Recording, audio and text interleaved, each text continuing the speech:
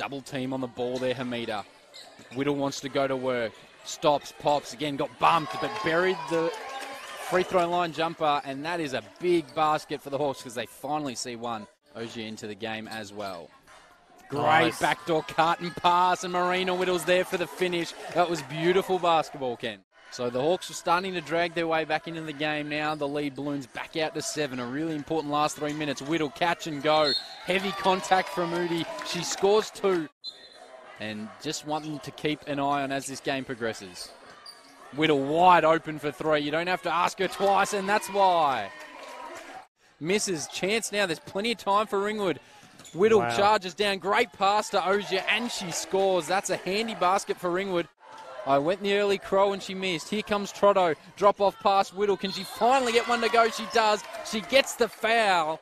Marena Whittle as Ernst look to turn. Dunlop can feed to Whittle. And she just goes straight at Ernst. Open three. Jackie Trotto. She's feeling it right now. That's a big hit for Ringwood. But she can get to the basket. That's a great steal, too. And Whittle tiptoed the ba- uh, the sideline like she was a wide receiver in the NFL. Desperately need a basket now just to make sure they stay within touch of the Falcons. Trotto.